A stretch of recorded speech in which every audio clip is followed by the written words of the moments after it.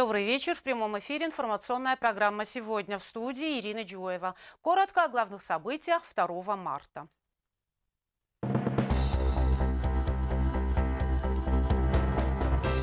Весенний день кормит год. Работает ли известная поговорка в Южной Осетии? Более тысячи гектаров уже вспахано. Проводится культивация, все механизации задействованы и работают в полном объеме. Питание в стационарных больницах. Программа оптимизации позволит существенно его улучшить. В процессе лечения больного важна любая деталь, в том числе огромное значение имеет правильно подобранный рацион питания. Поэтому пищеблок – одно из важнейших подразделений любой стационарной больницы.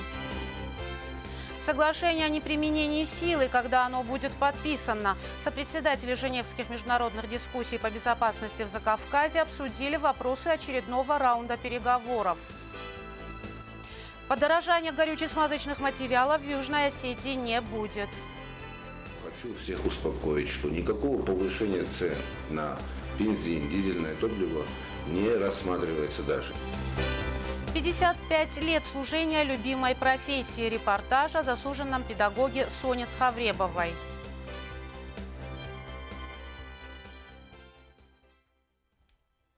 Развитие сельского хозяйства как главный фактор становления собственной экономики. Эту аксиому мы и слышим и повторяем очень часто. Она звучит на всех уровнях. За 10 лет первой декады 2000-х годов сельское хозяйство Южной Осетии было практически уничтожено. Сознательно или по иной причине, но факт остается фактом. Такого положения не было даже в послевоенные 90-е. Попытки реанимации предпринимаются в последние годы. В недавнем послании к парламенту президент республики говорит, говорил о тяжелом состоянии сельскохозяйственной отрасли, запустении большинства пахотных земель в республике, когда-то дававших отличный урожай. Большая часть из них сдана в аренду еще при прежнем руководстве, не обрабатывается, и этот правовой казус никак не могут отрегулировать. Изношен фонд сельскохозяйственных машин, проблемы у фермеров. Все эти вопросы мы собирались адресовать к началу сезона министру сельского хозяйства. Только сделать нам это в связи с занятостью министра никак не удается. Надеемся, что мы получим возможность информировать телезрителей о ситуации в важнейшей области. А пока первый материал из серии. Весна в этом году наступила рано, и в Южной Осетии приступили к пахотным работам. По всей территории республики вспахано уже больше тысячи гектаров земли. Большое количество техники с самого раннего утра работает на полях. В основном земли находятся в аренде у фермеров. Технику поставляет ГУП и Агропромсервис. К сожалению, она давно изношена. Сотрудники унитарного предприятия стараются обслужить арендаторов и частные лица в порядке очереди. Именно по этой причине посев и сбор урожая задерживаются по срокам. На сегодняшний день уже начались весенние полевые работы и более тысячи гектаров уже вспахано. Проводится культивация, все механизации задействованы и работают в полном объеме. По всем районам, ну там, например, Знаурский район, там около 500 гектаров уже готово к посевам. И скоро уже начнется посев яровых культур. Ожидаем в этом году около 2500 гектаров будет засеяно по всей республике. Как мы все знаем, техника уже ну, устаревшая и ощущается нехватка. Вот, поэтому в полном объеме они работают, но все равно со сроками может быть чуть-чуть опоздание. Также будет и во время уборки. Всегда, потому что у нас всего лишь 8 комбайнов, и на всю республику они в полном объеме работают, но все же не успевают. На полях Велицнаурского района сегодня работало 8 единиц рабочей техники. К работе неделю назад приступила 9-я бригада Ирагропромсервиса. По словам трактористов, тракторы старые и постоянно выходят из строя. Работа у нас есть всегда. Куда отправляют, туда и приезжаем. Хотя мы не всегда успеваем, но нам приятно, когда есть работа. Для нас главное, чтобы она была. В этом году формируется и семенной фонд в республике. Уже с 2016 года все фермерские хозяйства смогут на месте, не выезжая за пределы республики, приобретать качественный семенной материал. Семена первой репродукции высокоурожайного сорта озимой пшеницы «Багира». Теперь семенным материалом республика обеспечена на 4 года. После потребуется обновление семенного фонда. Зарина Кочева, Регина Черткоева, Заурустат. Информационный выпуск сегодня. Вопросы сельского хозяйства, проблемы жителей села, фермеров поднимались и в прямом эфире «Добрый вечер, Осетия» на нашем телеканале. Гостем Тамерлана Дзуцева стал глава администрации Цхинвальского района Алан Плеев. От телезрителей поступали звонки и СМС-сообщения. Оксана Джуева продолжит. Алан Плиев начал прямой эфир и диалог с ведущим с подведения итогов прошедшего года. В числе достижений ремонт дорог, бездорожье – одна из бед сельских регионов. Силами ЖКХ района администрации отремонтированы и проведены новые дороги протяженностью почти 8 километров. Речь зашла и об условиях в школьных и дошкольных учреждениях на территории района. Алан Плиев отметил, что большая часть школ обеспечена электрическим отоплением. Обсуждалось качество образования и зарплаты учителей учителей. В сельских районах пока дефицит педагогов, выход из положения приглашения специалистов из города. Дорожные расходы компенсируются. Глава районной администрации отметил, что наблюдается приток населения в село.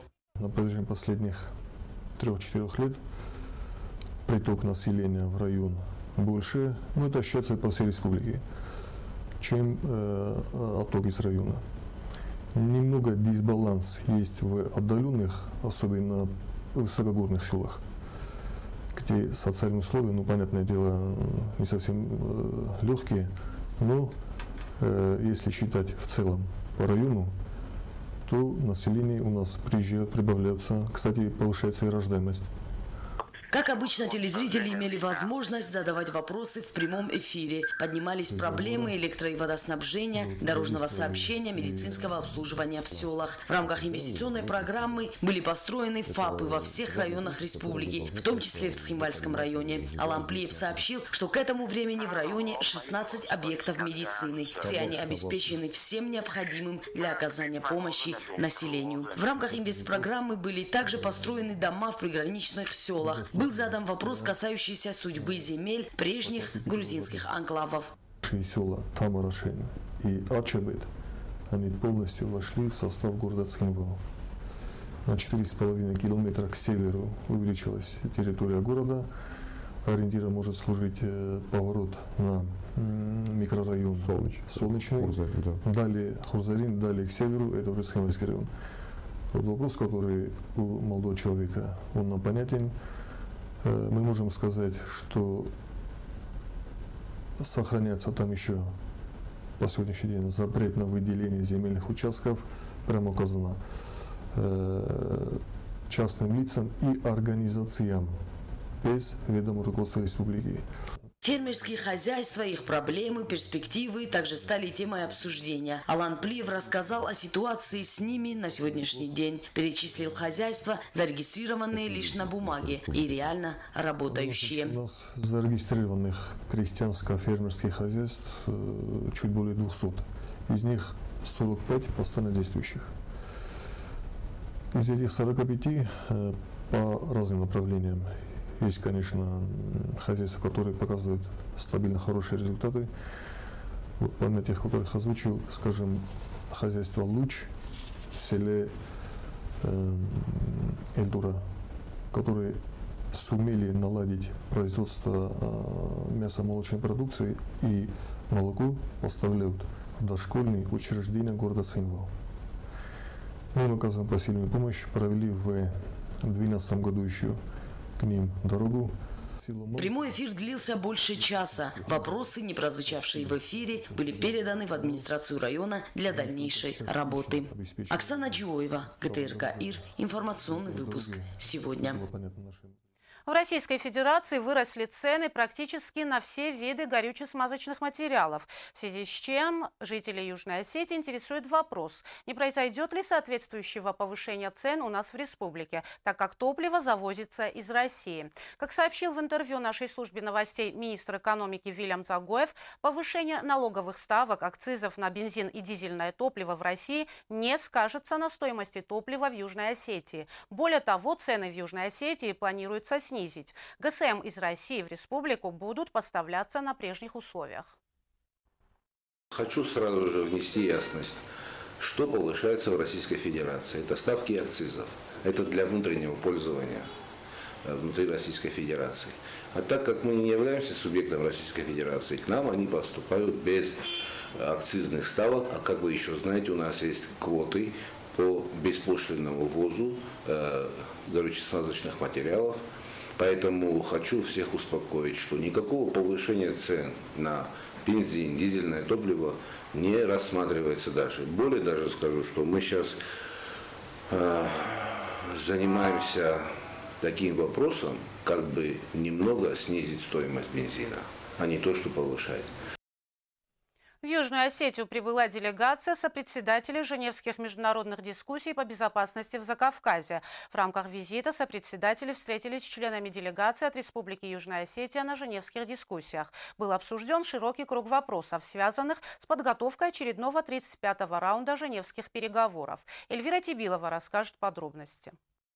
Гостей принял полномочный представитель президента Республики Южная Осетия по вопросам постконфликтного урегулирования Мураджоев. Полпред президент отметил, что раунды женевских международных дискуссий являются важной международной площадкой для обсуждения проблем взаимоотношений между Грузией и Республикой Южная Осетия и общих проблем безопасности в регионе Южного Кавказа. В ходе встречи сопредседатели обсудили широкий круг вопросов, связанных с подготовкой очередного 35-го раунда женевских переговоров. В их числе гуманитарные вопросы, а также проблемы, связанные с безопасностью безопасности на территории Южной Осетии. Югостинская сторона акцентировала внимание гостей на моментах, которые беспокоят жителей республики. В их числе вопрос долгосрочной безопасности, решение которого югостинская сторона ставит основной задачей. Речь идет прежде всего о подготовке юридически обязывающего соглашения о неприменении силы. Хотел бы отметить, что всех участников сегодняшнего разговора есть понимание необходимости продвижения в этом вопросе. Хотелось бы надеяться, и есть к этому некоторые, так сказать, импульсы, что на предстоящем 35-м раунде, который будет в 20-х числах марта, мы сделаем хоть небольшой, но шаг в сторону продвижения э, всеобъемлющего документа о неприменении силы между Грузией и Южной Осетией, Грузией и Абхазией. На встрече также в очередной раз была поднята тема пропавших без вести и осужденных в Грузии граждан Южной Осетии. В то же время мы отметили целый ряд вопросов, которые, на наш взгляд, должны более активно решаться. Это прежде всего вопрос беженцев, поскольку в Женеве этот вопрос в последнее время не, не, не обсуждается в связи с тем, что грузинские власти ежегодно выносят эту проблему на трибуну ООН.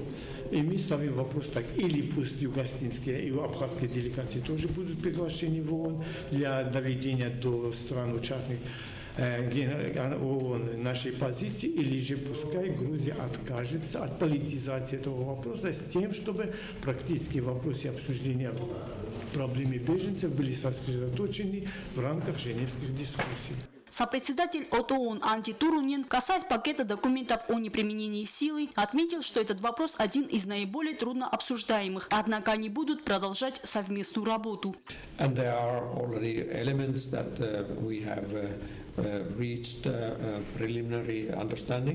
И есть некоторые элементы, по которым было достигнуто уже общее понимание and uh, there's a good basis to continue the work. И хорошая есть база, чтобы дальше продолжать эту работу. And, and we hope that uh, we can uh, soon reach the point that uh, we are able to announce the, the results of our work so far. И мы надеемся, что мы скоро достигнем того момента, что мы сможем объявить о результатах нашей работы. Свои комментарии по итогам встречи дали и другие делегаты женевских дискуссий, в частности указав, что удалось достигнуть по проблеме без вести пропавших и осужденных в Грузии граждан Южной Осетии. Этот отчет также будет передан родственникам пропавших без вести. And then, of course, we help together with the independent expert to find the final solution and also to satisfy the, the, the needs of the families. И также, конечно, мы готовы довести это дело до конца, и чтобы удовлетворить ну, требования родственников. The question of um, uh, detainees, issues regarding um, uh, cultural heritage. И некоторые вопросы, которые сегодня мы обсудили, касались вопросов э, снабжения воды, ирригационных систем, вопросов э, о заключенных, пропавших без вести, а также вопросы культурного наследия. And we hope to find um, uh, humanitarian approaches to um, uh, these issues. И мы надеемся найти гуманитарный uh, подход к решению этих вопросов. Раунды женевских международных дискуссий остаются единственной площадкой по обсуждению вопросов взаимоотношений между двумя соседствующими государствами – Грузией и Республикой Южная Осетия. Следующая встреча состоится в конце месяца. Эльвира Тибилова, Ринат Медоев. Информационный выпуск сегодня. Министерством здравоохранения разработана программа оптимизации лечебных учреждений, куда входит и переход коечного фонда на койки дневного пребывания. В этой связи у многих наших граждан возникли вопросы. Среди них и вопрос питания для больных. Елена Газаева подробнее. В процессе лечения больного важна любая деталь, в том числе огромное значение имеет правильно подобранный рацион питания. Поэтому пищеблок – одно из важнейших подразделений любой стационарной больницы. На питание одного больного в сутки государством выделяется 97 рублей 85 копеек. По заверению министра здравоохранения Григория Кулиджанова, разработана программа оптимизации лечебных учреждений, куда входит и перевод коечного фонда на койки дневного пребывания. На сегодняшний день некоторые больные не нуждаются в круглосуточном пребывании в больнице. Переводя их на дневной стационар, в большей степени лечебные учреждения во многом разгрузятся. Больные будут получать всю необходимую необходимую медицинскую и профилактическую помощь, но не будет предусматриваться трехразовое питание. За счет этого те больные, которые будут оставаться в больнице на круглосуточной основе, будут получать полноценное питание и не хуже прежнего. В прошлом году, ну, это как и в этом году, у нас э, на одного больного в сутки 97 рублей 85 копеек. В прошлом году это была нормальная, приличная сумма, но вы сами видите, хоть и на рынок, в магазине, все дорожает. Все Сумма останется прежней. Сумма останется прежней. Э, но я думаю, на качество питания это не скажется. За те же деньги, которые нам предоставляет э, бюджет, мы будем их кормить. В плане реорганизации есть четыре участковые больницы, каждой по 10 коек, где с 2008 года не лежал ни один больной. А между тем в этих больницах на койко-место бюджетом заложено и выделяются денежные средства на питание. Лечебное питание в больнице строится в виде суточных пищевых рационов. Каждый день в больничном пищеблоке готовится трехразовое питание. Каждый день здесь стараются приготовить сбалансированную, полезную и вкусную пищу. Одним из основных принципов лечебного питания питания больных в стационаре является режим питания. На завтрак у нас было, значит, э, каша, чай и хлеб. Это на завтрак. На обед сейчас готовим вот суп с тушенкой и компот. Это уже на, на обед. А на ужин у нас макароны с сыра будет и кисель. Мяса нет. У нас было раньше, сейчас нету. Не возят уже, не знаю почему. Бывает и курица, неделю два раза бывает курица. Все остальное, рыба тоже бывает по четвергам или по, по понедельникам. Доставку пищи осуществляют централизованно в определенной посуде. Раздачу пищи больным производят буфетчицы. Больные довольны питанием. Ни одного недовольного обслуживанием и питанием больницы мы не встретили. Любовь Козаева в больнице третий месяц. 1 января она вместе с мужем попала в аварию и с тех пор на больничной койке. Хотя и затянулось лечение на несколько месяцев, но по ее словам, питание здесь хорошее, полноценное. Завтракаем мы, как положено, вовремя. Бывает каша и чай на обед или куриный суп. За нами хорошо ухаживают. Все, что полагается, нам приносят. Неплохо нас кормят. А Милана Кудзева рассказала нам, как попала на больничную койку. Здесь она нашла новых друзей. Питанием тоже не обделена. У меня болело горло и было тяжело дышать. Положили меня в больницу три дня назад. Кормят нас три раза в день. Мне нравятся булочки и каши. Есть еще здесь игровая комната. Там весело и много игрушек. Мне здесь нравится. Полноценное сбалансированное питание и количество пищевых продуктов, обеспечивающих суточную потребность человека, присутствует в ежедневном рационе больных. Остается только сказать больным, что больница – это не санаторий и курорт. Здесь необходимо диетическое питание для скорейшего выздоровления, чтобы не нагружать организм жирной и калорийной пищей. Елена Газаева, Александр Кукоев. Информационный выпуск сегодня. Учитель с большой буквы, филолог и замечательный воспитатель Соня Цхавребова 55 лет своей жизни отдала обучению детей. Ни одно поколение учеников помнит своего педагога. За долгие годы работы Соня Шамилевна получила множество наград, но любовь учеников – главная из них. Заслуженным педагогом встретилась наш корреспондент Яна Плиева. Депутат Верховного Совета, педагог со стажем в полвека, учитель по образованию и по призванию души, рассказывая о своей такой трудной, но любимой профессии, вспоминает прежде всего своих учеников. Все они были хорошими детьми и, что немаловажно, старательными, говорит Соня Шамилевна. Учительница русского языка и литературы в Бехмарской средней школе начала работать сразу после окончания учебы. Совсем еще молодой, через пару лет активную учительницу с полной отдачей случае, относящуюся к своей профессии, назначили завучем, а потом уже директором школы. Корнийскую среднюю школу окончила на медаль, на серебряную медаль. Тогда медалисты поступали без экзаменов. Я приехала в Цхимвол и сразу же поступила на филологический факультет. Четырехгодичный тогда был. Училась хорошо. Строгие были лектора у нас. Розин Лазар Моисеевич, Верхос, Надежда Романовна, Ромашенко, Николай Васильевич, Васильева. Одним словом, русские были все.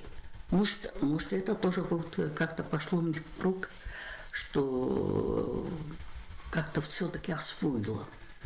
Освоила русский язык. Ну, а потом в Знауре я работала и инспектором РУНО, и где только я не работала, и заучим, и директором. Словом, все коллеги педагогической работы я испытала на себе. Строгая и требовательная, но добрая и любящая учительница, такой Соня Шамилевна запомнилась своим ученикам. За 55 лет работы воспитала не одно поколение и дала им богатый багаж знаний по русскому языку и литературе. Теперь уже взрослые выпускники Сони Шамилевны помнят ее и оказывают знаки внимания, а это самая лучшая награда для педагога. Я директором работала 25 лет и неплохо работала должна сказать, чувствую. Да. Но бить я никогда не била детей. Никогда. Хорошие они были все. Мейрендер я, я вот вам скажу, сейчас тоже, как это может случиться, чтобы э, я прохожу, проезжает мой бывший ученик и не останавливает машину. Этого никогда не было. Воспитательная часть должна содержаться в каждом уроке, говорит Соня Схавребова. Совместив одно с другим, можно получить хороший результат, дать знания ребенку и в то же время воспитать в нем хорошие личностные качества. Для молодых и еще неопытных педагогов, которые только начали свою преподавательскую деятельность, советуют больше работать с дополнительными материалами. Чем больше знает педагог, тем легче заинтересовать ученика. И первым долгом постоянно на своих уроках первым долгом я ставила такую задачу – заинтересовать ребенка вот этим писателем. Вот, например, а чтобы заинтересовать, надо как-то как не, неудобно мне такие вещи говорить, но э, первым долгом сам педагог должен знать историю этого писателя, жизнь этого писателя. Именно вот его жизнью заинтересуешь ребенка. Ряды выложенных на столе ее наград пополняются с каждым годом. Последнюю медаль педагог получила 20 сентября в ознаменовании 25-летия республики. Среди медалей одна медаль особо для нее почетна, та, которая с надписью «Заслуженного педагога». Как она сама говорит, даже будучи на пенсии, о ней помнят, зовут ее на торжественные собрания и праздники. Толковых учеников очень много у меня было. И когда приезжают Германия Оди, это его одна, Анжела, приехала и сразу же ко мне. Что у педагога есть? Ничего больше. Когда его вспомнят, Побывав в гостях у Сони Шамилевны, мы поняли, почему ее так сильно любят ее бывшие ученики, среди которых и журналисты нашего телеканала. После урока Сони Шамилевны можно было не готовиться к уроку, а еще она дарила тепло и любовь. Такое отношение учеников, где бы они ни находились и сколь давно не закончили школу, лучшая награда учителю. Здоровья и долгих лет жизни потрясающему педагогу, а молодым учиться на ее примере. Яна Плива, Александр Кощев. Информационный выпуск сегодня. Из-за человеческой бессердечности сиротами остались два медвежонка. Одни в диком лесу в том возрасте, когда за ними нужен уход. Медведица была застрелена браконьерами в лесу близ села Залда. Хотя всем известно, что в это время нельзя охотиться на диких животных, так как они бывают со своим потомством. Двое медвежат были найдены жителям села и отданы в Комитет геологии, экологии и природных ресурсов. Совершенно беззащитные они еще питаются молоком и не выживут без присмотра в лесу. Поэтому было принято решение поместить их в Зонкарский заповедник, где за ними будет необходимый уход до тех пор, пока медвежата не будут в том возрасте, чтобы самим добывать пищу. Огромное спасибо, надо сказать. Хочется сказать слова благодарности жителю села Залда Эльбрусу Габараеву. Это он их нашел и принес нам. Было бы хорошо, чтобы его примеру последовали и остальные, которые находят таких детенышей. Нельзя убивать их, они совершенно беспомощны. Им надо оказывать помощь. Мы их сейчас выходим в Зункарском заповеднике, а потом медвежат отпустим на волю. Это все, о чем мы вам успели рассказать. Напоминаем, что наши выпуски вы сможете посмотреть на сайте государственного телевидения gtrkir.ru. В вечернем выпуске информационной программы в 20.30 с новостями вас познакомит Батрат Схуриев, а я желаю вам всего доброго и до свидания.